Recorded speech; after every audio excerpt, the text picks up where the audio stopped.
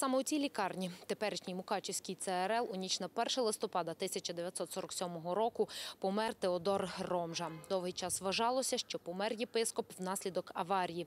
Проте генерал Судоплатов у своїх спогадах вказав, що вбила насправді єпископа медсестра трутою курари, що діяла за наказом місцевих органів безпеки. Згадати блаженного і запалити свічку пам'яті прийшло греко-католицьке духовенство та небайдужі містяни, які багато чули про страшну смерть єпископа. Люди споминають його, вважають його, бо він був така віра, чуєте, як у його непохитно, то треба нам дійсно.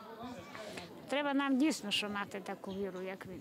Я пішов сюди, щоб помолитися до блаженного Теодора Ромжі, щоб попросити його ласки, бо він там зверху помолився за нас. В ході заходу всім присутнім про мученицьку смерть єпископа нагадав настоятель Мукачівського греко-католицького Успенського собору Йосип Ловська. Не оминув обставин аварії та наголосив на важливості збереження віри попри все.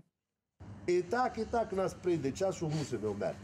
Ну його немножко попросили скош, заставив у молодому віці. Бо він був ще, ще знаєте, тільки був біда проти комунізму наробив, що вже в були самі не знали, що то, то є. Молебень до блаженного священомученика Теодора біля лікарні проходить вже вдруге. Почались ми вже з минулого року е, здійснювати тут молебні біля цієї пам'ятної дошки, де є напроти тої е, палати, де лежав наш блажений Теодор Ромжа.